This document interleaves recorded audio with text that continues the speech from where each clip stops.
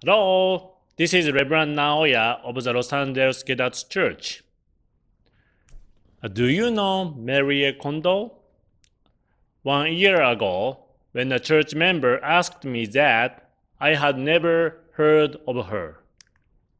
For those of you who are not familiar with her, Marie Kondo is a Japanese woman who is an organizing consultant, author, and a TV show host. She became famous for her book, this book, The Life Changing Magic of Tidying Up, which introduced her KonMari method of home organizing. Her book has been translated in more than 40 countries and has sold millions of copies in the US since it was published in 2014. In 2015, Mary Kondo was listed as one of Time's 100 most influential people. Maybe you saw her and her KonMari organizing method on the recent Netflix series, Tidying Up with Mary Kondo. She has millions of American fans and is now more famous here than in Japan. Anyway, the reason I, mention, I mention Mary Kondo is that I find some interesting parallels between her KonMari methods and our Gedatsu study. Both are influenced by Japanese culture and especially Shinto, the native religion of Japan. In the Netflix series, whenever Mary visits a client's home, the first thing she does is sit seiza style on the floor with the client. This is to properly greet and show appreciation to the house.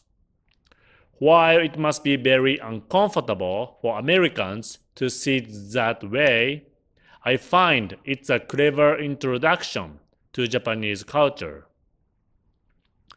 Now let's look at some of the unique KonMari organizing methods. Mary says, when it comes to storage, vertical is best. That's because stacking is very hard on the things at the bottom. And they virtually disappear because we forget that they even exist. Things stored vertically are easier to find and grab. This applies not only to clothes, but everything, even laptops. Maria in- instructs us to unpack and detack new clothes immediately. She explains in order for your clothes to make the transition from store products to personal possessions, you need to perform the ritual of cutting the umbilical cord that links them to the shop. In other words, take care of what you buy as if it were your child. Appreciate your belongings and even express words of thanks.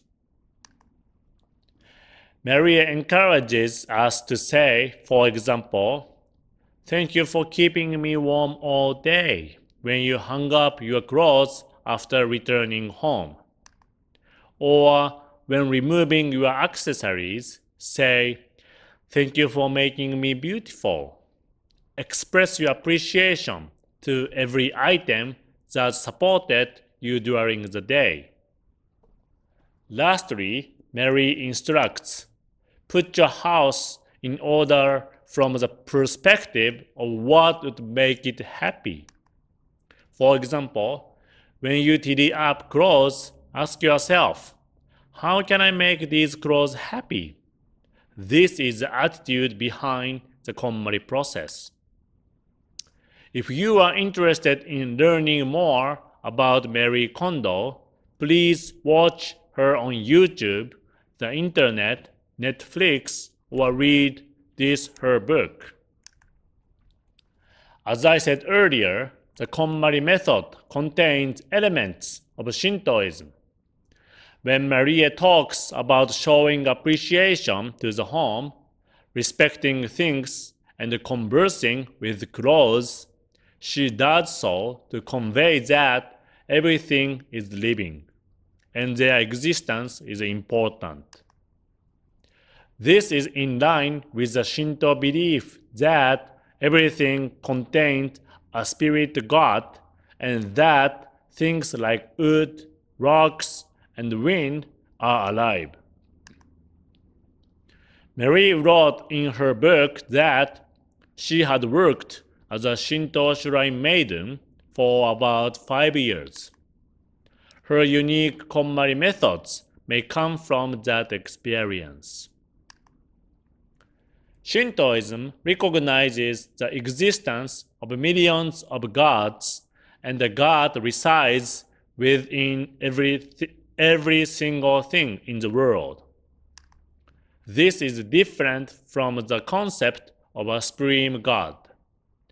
In Christianity, Genesis in the Bible states that God as creator exists from the beginning, and the world begins when God created everything. Shintoism is Japan's Genesis story. It teaches that this world, the earth, and the country of Japan were born from a female god and a male god. Stone, wind, land, plants, animals, human, and all things were originally born from these two gods. In other words, everything is related as brothers and sisters to each other. In Shintoism, there is no founder, no doctrine, no religious scripture, just respect and worship of nature. The eternal theme is mutual existence and the prosperity of nature and people. Because everything contains a God, we as humans also have a God within us. Also, the family tree of all humanity can be traced back to a single female God and a male God. I believe that Mary Kondo's unique process taps into this Shinto belief system in which everything is brothers and sisters, and that God resides in each single thing. Oh, I forgot to mention one of the most important points of the KonMari methods. It is a con- concept of spark joy. Mary explained it this way. The best way to choose what to keep and what to throw away is to take each item in one's hand and ask, Does this spark joy? If it does, keep it. If not, dispose of it. Keep only those things that speak to your heart and that seems happy to be with you. In other words, respond with your heart, not your head. Follow your inspiration.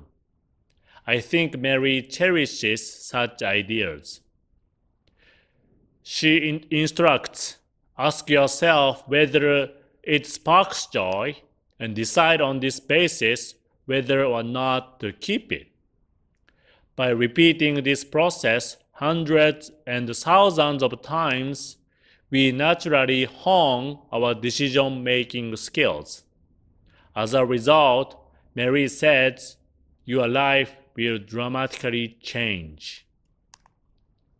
In Shintoism, every or, oh, everything is accepted as God's will. Gedatsu teaches us to align our speech, attitude, and the way of thinking with God. So when you have to decide something, whether big or small, stop and think how I can align to God's will. Will my decision bring happiness to others? By making your decision in this manner over and over every time, eventually you will learn naturally to make right decisions in your daily life. And like Mary says, I believe your life will dramatically change. In Gedatsu, we follow the Shinto belief that a God resides in each of us, so we are all brothers and sisters in this world. And following Marie Kondo's philosophy, we also believe that all things, our clothes, windows, and buildings, contain gods and are therefore our relatives as well. Once we understand these, I believe the world peace, where every single person, nature, and thing is truly happy, where all people are equally respected and deserving of happiness, and where there is no brutal destruction of things and nature will be accomplished. I sincerely wish for a world where the spark of joy is alive in everyone. Thank you for your time.